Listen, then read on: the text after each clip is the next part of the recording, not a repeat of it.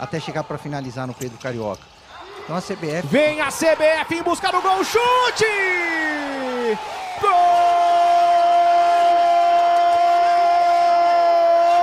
da CBF!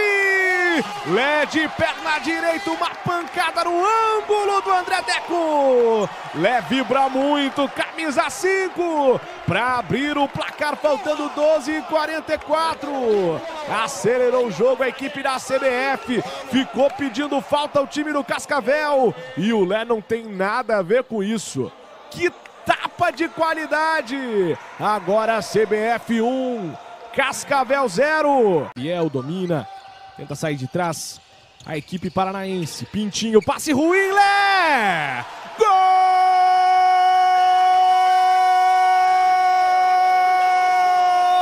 da CBF de novo, Lé! Dessa vez ele fala: Valeu, Pintinho! Ganho o gol de presente, uma pancada do Lé. Reveja, saída errada no Cascavel. De primeira, de perna esquerda, uma pancada. De novo Lé, faz o segundo dele, o segundo da CBF. Agora CBF 2, Cascavel 0, Sandrinho.